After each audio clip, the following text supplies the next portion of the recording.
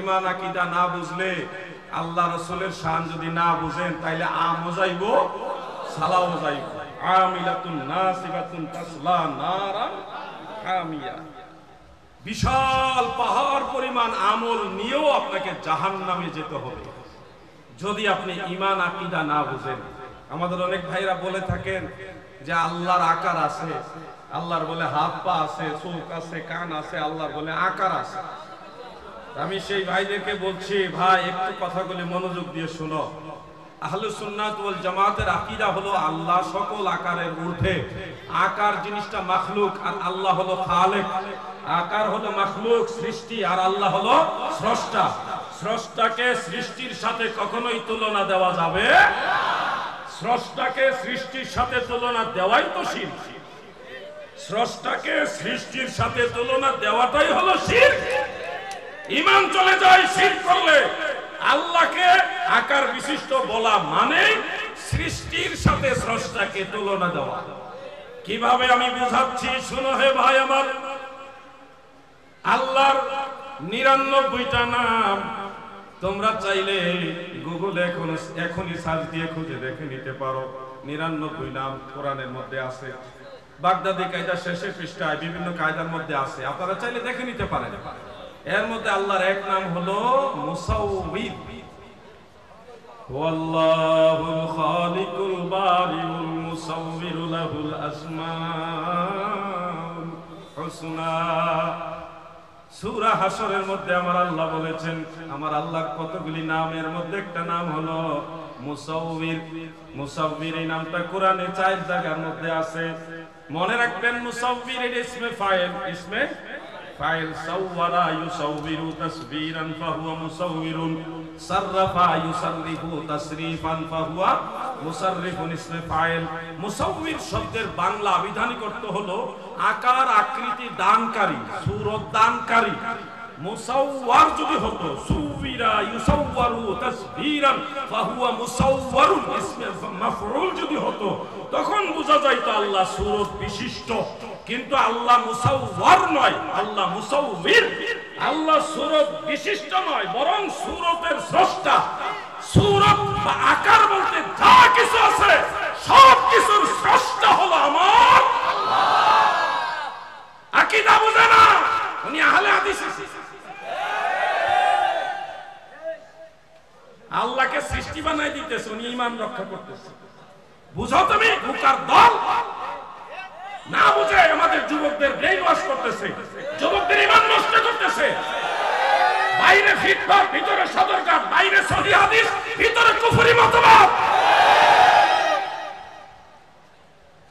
বুঝো, কোরআন থেকে বলছি, আমি বানায় বলছি না। গ্রামার সরব যারা বুঝে, তারা একেবারে একেবারে বিষয়টা একবার ক্লিয়ারলি বুঝেছেন, আমি বিশ্বাস করি। সে আলিয়া মাদ্রাসার পড়ুক আর কৌমি মাদ্রাসা দিব। এগুলো কি বানায় বলছি, সাররাফা ইউসাররিফু তাসরিফান। এগুলো বানানো নাকি? বাবে তাফরিল।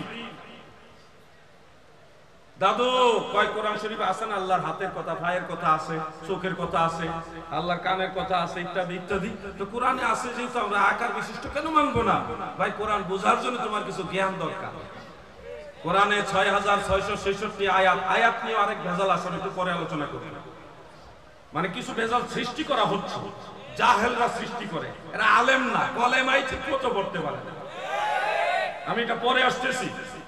আমি যেটা বুঝাতে চাচ্ছি, কোরআন বোঝার জন্য তোমাকে প্রাথমিকভাবে তিন প্রকার আয়াত জানতে হবে। কোরআনের আয়াত।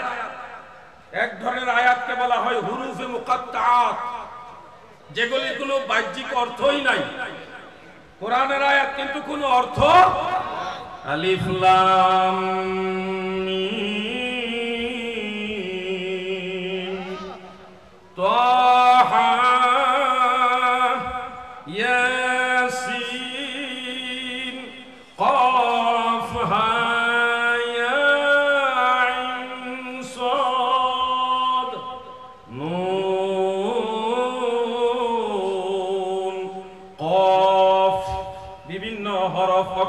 কোরআন শরীফের বিভিন্ন সূরা শুরুতে দেখবেন, আলিফ লাম র। আছে না নাই ভাইজান? এগুলি কোরআনের আয়াত, কিন্তু এগুলির অর্থ নাই। অর্থ আল্লাহু ওয়া রাসূলুহু আ'লামু। আমার আল্লাহ এবং আল্লাহর রাসূল সবচেয়ে ভালো জানে। অনেক আলেম ভাইয়ের আবার কয়, আল্লাহু মালুম। আল্লাহ মালুম বলে, আল্লাহ বলে মালুম। আল্লাহ মালুম বলা যাবে না। বলতে হবে আল্লাহু আ'লাম। মালুম এটা সামিআ ইয়াসমাউ। এই যে গর্দানে গর্দানে ইসমে মাফউল হলো মালুম মালুমুন মানে মিন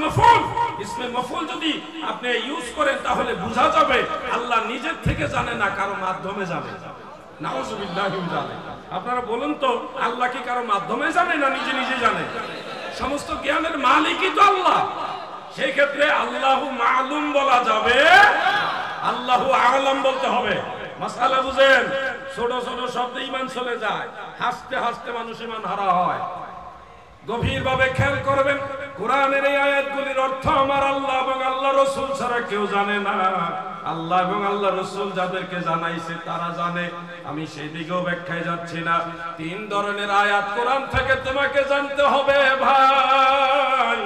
এক ধরনের আয়াত যেগুলির কোনো অর্থই নাই। বাহ্যত আমাদের দৃষ্টিতে আমাদের কাছে পরিষ্কার কোনো অর্থ নাই, কিন্তু কোরআনের আয়াত। দ্বিতীয় হলো আয়াতে মুতাসাবিহাত আয়াতে যেগুলির বাহ্যিক অর্থ আছে, মাগার এগুলি তাবিল করতে হবে, অন্য আয়াত বা হাদিসের মাধ্যমে। তাবিল করে মানে ব্যাখ্যা করে অর্থ নিতে হবে। সরাসরি যদি আপনি অর্থ নেন, তাহলে আপনার ইমানই থাকবে না। এটা কেমন কথা হয়ে গেল না? বুঝানোর জন্য বলছি। কুল্লু মান আলাইহা ফান ওয়া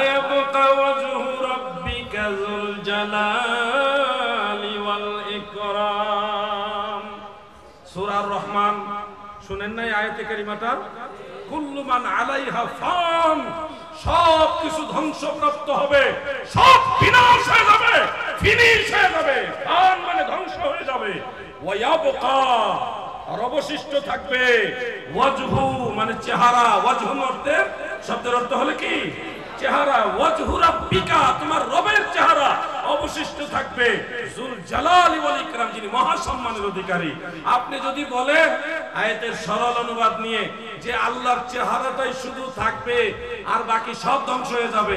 বাহ্যিক এই অর্থ যদি নেন তাহলে আল্লাহর হাত, পা সারা বডি ধ্বংস হয়ে যাবে, শুধু আল্লাহর চেহারাটা থাকবে মিন এই অর্থ নেওয়া কি সঠিক হবে? আল্লাহর চেহারা থাকবে আর বাকি সব ধ্বংস হয়ে যাবে, এটা এটা কোনো হইতে পারে নাকি? এখানে ওয়াজহুন শব্দের তাবিল করতে হবে। ওয়াজহুল্লাহ বা ওয়াজহুন, এই শব্দগুলি যখন আসে, তখন এটা ধরে নিতে হয় জাতুল্লাহ আল্লাহর জাত। অর্থাৎ শুধুমাত্র আমার আল্লাহই থাকবে। আল্লাহ ছাড়া বাকি সব ধ্বংস হয়ে এটাকে বলা হয় তাবিল কোরআনের অনেক আয়াত রয়েছে, যেগুলাকে আয়াতে মুতাশাবিহাত বলা হয়, যেগুলির বাহ্যিক অর্থ গ্রহণ করা জায়েজ নাই। এই ধরনের কিছু আয়াতের, আয়াতে কারিমার মধ্যে আল্লাহর হাতের কথা, ইয়াদুল্লাহি ফাওকা আইদিহিম। আল্লাহর হাতের কথা রয়েছে, আল্লাহর চোখের কথা রয়েছে, বিভিন্ন অঙ্গের কথা উল্লেখ। এগুলি হলো আয়াতে মুতাশাবিহাতের অন্তর্ভুক্ত। এগুলির বাহ্যিক অর্থ করা জায়েজ হবে, অন্য আয়াত দিয়ে অর্থ করতে হবে। অন্য হাদিস থেকে সমন্বয় করে অর্থ নিতে হবে, আপনাকে নতুন করে কিছু করতে হবে না। নতুন করে আমরা এত কষ্ট করে, এত জটিল বিষয় কীভাবে জানব? আপনার এত কষ্ট করার দরকার নাই। আগের ইমামদেরকে ফলো করেন। মুফাসসিরিন আইম্মাই কেরাম, যারা দ্বীনের বড় বড় মুজতাহিদ, আমার আল্লাহ, সৃষ্টি জগতে যত আকার আছে, সমস্ত আকারের স্রষ্টা হলো আল্লাহ। অনেক যুবক ভাইরা প্রশ্ন করে, হুজুর, আকার না থাকলে এটার অস্তিত্ব, এটা কি প্রমাণ হয়? আকার না থাকলে কি অস্তিত্ব প্রমাণিত হয়? এটা সহজ বিষয় ভাই, আকার না থাকলে অস্তিত্ব প্রমাণিত হয়। বিজ্ঞান থেকে আমি বোঝাচ্ছি আপনাকে, পদার্থ কয় প্রকার? কিচ্ছু জানেন না। পদার্থ কয় প্রকার? তিন প্রকার। কঠিন পদার্থ, তরল পদার্থ আরেকটা কি? এবার আমি বলি, কঠিন পদার্থের আকার আছে আয়তন দখল করে। আয়তন আছে, আকার আয়তন আছে, আর তরল পদার্থের নির্দিষ্ট কোনো আকার নাই। যখন যেই পাত্রে রাখেন, তখন ওই পাত্রের আকার ধারণ করে তরল পদার্থ, পানি বা দুধ ইত্যাদি। বায়বীয় পদার্থর কোনো আকারই নাই। কিন্তু অস্তিত্ব আছে। যুবক ভাইরা, কথা বলো না কেন? বায়বীয় পদার্থের আকার নাই, কিন্তু অস্তিত্ব আছে না নাই? সুগন্ধ, দুর্গন্ধ। সুগন্ধ, দুর্গন্ধ। আকার নাই, কিন্তু অস্তিত্ব আছে। ঠান্ডা, গরম। আকার নাই, কিন্তু অস্তিত্ব আছে। তোমার গায়ে কেউ আঘাত করল, ব্যথার আকার নাই, কিন্তু অস্তিত্ব অনেক জিনিস আছে, যেগুলির আকার নেই, কিন্তু অস্তিত্ব আছে। আমার আল্লাহ আকারের ঊর্ধ্বে।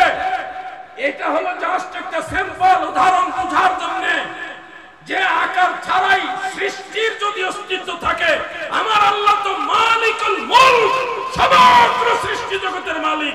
তিনি আকার আকার বিশিষ্ট না হয়েও অস্তিত্ব থাকতে পারে।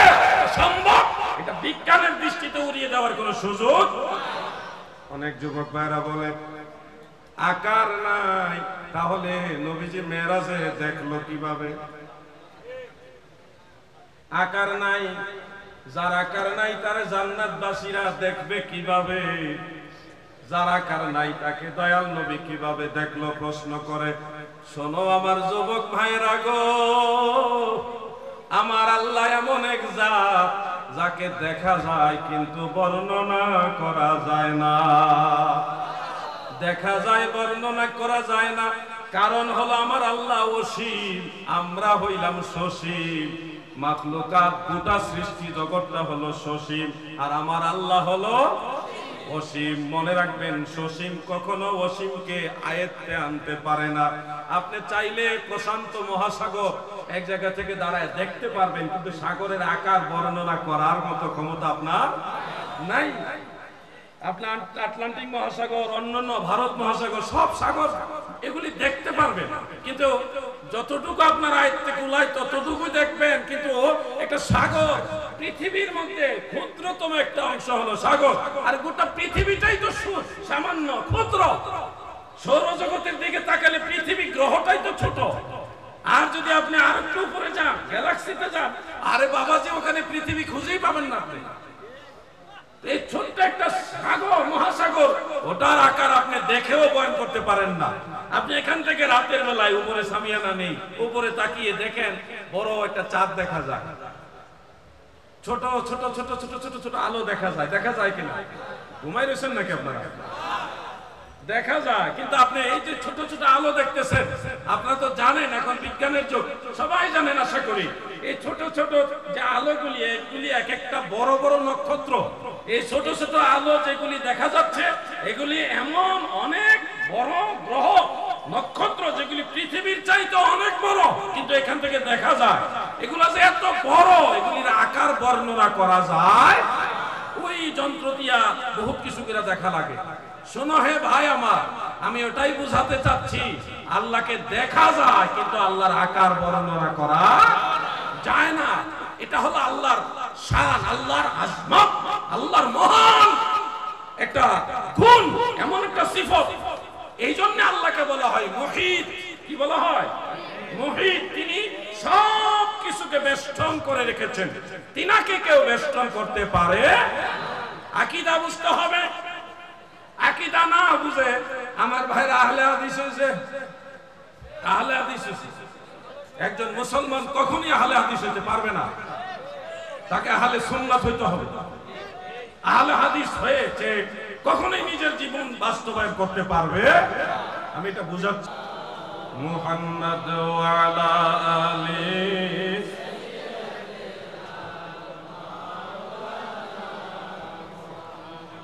আপনারা মনে হয় ওয়াজ শুনতে শুনতে ক্লান্ত হয়ে গেছেন। আওয়াজ একটু বোঝা যায়, ক্লান্ত হয়েছে ক্লান্ত হয়েছেন না? কারা কারা ক্লান্ত হয়েছেন? হাত উড়ান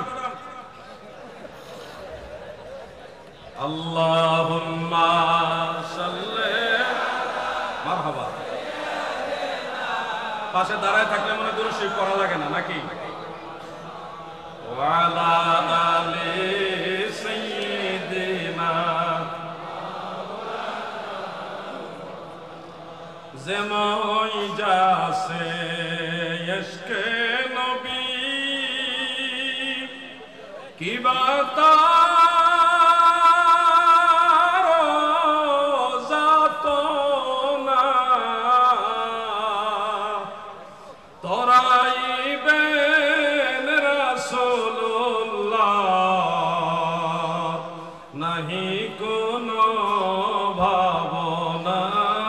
আল্লাহ।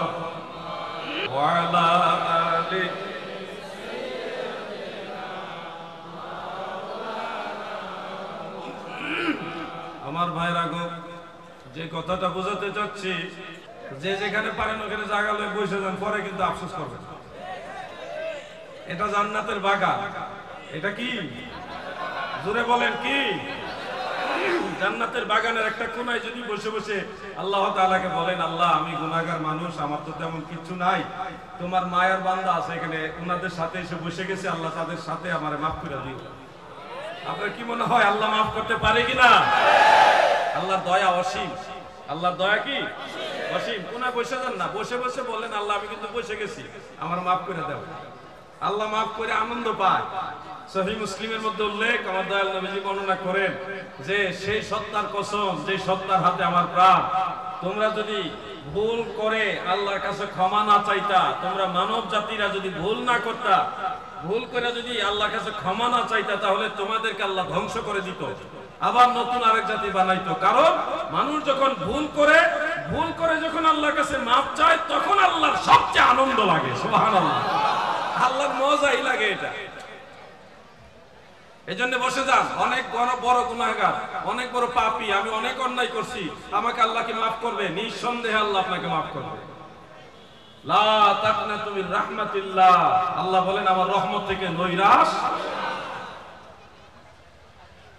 যাহার মনেতে আশা স্বর্গেরি শোধা পা ধর এসে রহমতেরি ভারী বরিশনের ধার যাহার মনেতে আশা, যার মনে আল্লাহর দয়া পাওয়ার আশা, সেই রহমতের ভারী বর্ষণের এই জান্নাতের বাগানে এসে আশ্রয় নিবে। ধর এসে রহমতেরই ভারী বরিশনের ধার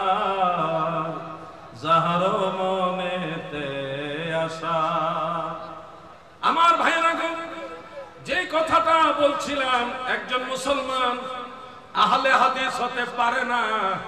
একজন মুসলমান, তার মুসলমানিত্ব প্রমাণ করার জন্য, আমল করার জন্য, বাস্তবায়নের জন্য অবশ্যই আহলে সুন্নাত হওয়া লাগবে। আহলে হাদিস না, আহলে সুন্নাত। কারণ একজন মুসলমান ইচ্ছা করলেও সব হাদিস আমল করতে পারবে না। যেমন সহি বুখারীতে হাদিস উল্লেখ আমার দয়াল নবীজি দাঁড়ানো অবস্থায় প্রস্রাব মুবারক করেছেন। এটা ওজরের কারণে।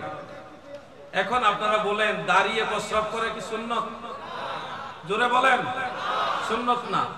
কিন্তু দয়াল নবীজি দাঁড়িয়ে প্রস্রাব মুবারক করেছেন। এটা একটা হালের কারণে, এটা অবস্থার কারণে ওজরের কারণে।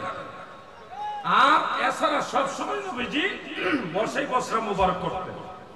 আমার আপনার প্রস্রাব আর দয়াল নবীজির প্রস্রাব মুবারক।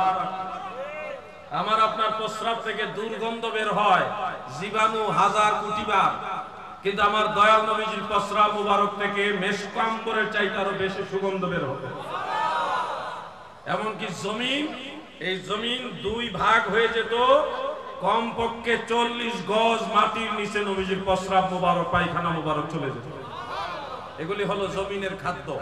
নবীজি যেদিক দিয়ে হেঁটে হেঁটে যেতেন, ওদিকে মেশকো আম্বরের চাইতে আরও বেশি সুগন্ধি ছড়ায় যাইতে আমার দয়াল নবীজির ঘাম মুবারক সম্পর্কে সহি মুসলিমের মধ্যে উল্লেখ হযরত আনাস রাদিয়াল্লাহু আনহু বলেন যে, একজন সাহাবী, তিনি নবীজি ঘুমিয়ে আছেন।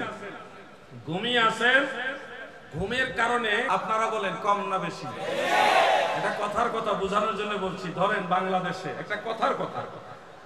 আটজন জন পুরুষ আর দশজন মহিলা। এখন একজন পুরুষের জন্য যদি একজন মহিলাই নির্ধারিত করে দেওয়া হয়, তাহলে আটজন পুরুষ বাস্তবতার নিরিখে আটজন মেয়েকে বিয়ে করল, বাকি দুইজন মেয়ে কি করবে? তাদেরও তো জৈবিক চাহিদা আছে। তাদেরও তো স্বামীর সংসার করতে মনে চায়, তাদেরও তো সন্তান লালন পালন করতে মনে চায়। ইসলাম মানবিক ধর্ম। তুমি যদি এই দুইটা মেয়েকে দুইজন পুরুষের ঘরে দ্বিতীয় স্ত্রী হিসেবে দিয়ে দাও, তাহলে এই দুইটা মেয়ে ওই পতিতালয়ে যাবে না, পরকীয়ায় লিপ্ত হবে না, জেনা বেবিচারে লিপ্ত হবে না। একটা মেয়ে পতিতালয়ে যাওয়ার চেয়ে জনগণের সম্পদ, নাউজুবিল্লাহ জনগণের সম্পদ হওয়ার চেয়ে একজন স্বামীর ঘরে সম্মানের সাথে দ্বিতীয় স্ত্রী হিসেবে থাকা তার জন্য সম্মানের জিন্দিগি। ইসলাম চায় না একটা মেয়ে যাক, একটা মেয়ে জনগণের সম্পদ হোক। আমি কথাটা সাথে সাথে মা জাতিদের সম্মানে আমি বলছি, আপনারা দ্বিতীয় স্ত্রী হওয়াটাকে নেগেটিভ মাইন্ডে দিবেন না।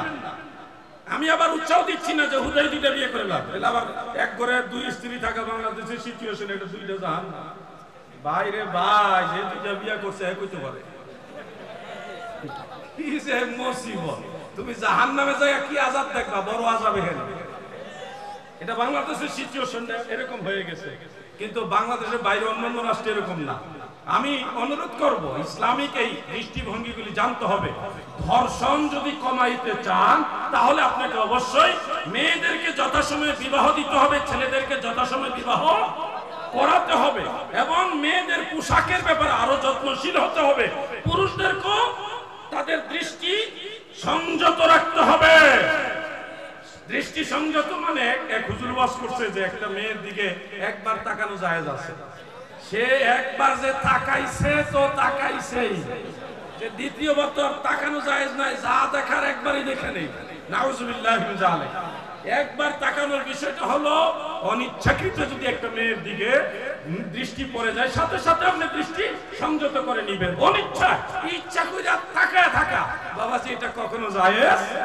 যুবক ভাইরা তোমরা মা বাবার এই কষ্টের জিন্দগির সাথে সহায়ক হও এমন উদাসীন হইও না। আরে বিড়ি টানা রে। সরকার বিপদে হয়ে গেছে। এই বিড়ির ব্যবসা বন্ধ করতে পারতেছে না, আবার বিড়ি খাওয়া বন্ধ করতে পারতেছে না। বিড়ি খাওয়া বন্ধ করতে পারে না, আবার বিড়ির ব্যবসা বন্ধ করতে পারে না। সরকারে বসে বিপদে। এখন আইন করছে, জানি না আইনটা কতটুকু কার্যকর হয়েছে আইন করছে, এক প্যাকেট সিগারেট ছাড়া কিনা যাইতো না। আমি আরে ভূতে জানে কইছে আইন করতে হবে। এই আইন বাংলাদেশে জীবন মানাই। ছোট ছোট বাচ্চারা সিগারেট টানে, নাউজুবিল্লাহ এই সব মাদক থেকে নিজেকে ফিরিয়ে আনো মা বাবার জীবনে একটু সহায়ক ভূমিকা পালন করো আল্লাহ সকলকে তৌফিক দেন বলে না আমি